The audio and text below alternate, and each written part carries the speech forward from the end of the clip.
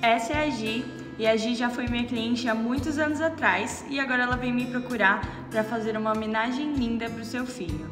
Das referências de tatuagem que a gente conversou, essa daqui foi a que ela mais gostou. E aí eu perguntei, por que não a gente não faz uma com a foto do seu filho? Jimmy enviou a foto do filho dela e eu comecei a criação com todas as informações que ela me mandou.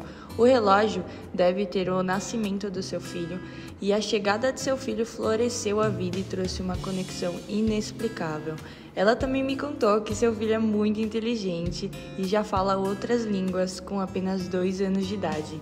E como o tempo passa voando, ela decidiu eternizar ele no seu braço. Essa tatuagem está muito especial. O rostinho do filho dela, o horário de nascimento dele, ela segurando o filhinho dela. Ele floresceu a vida dela. Olha as flores que lindas, todo fine line. Trabalho único e da minha cliente.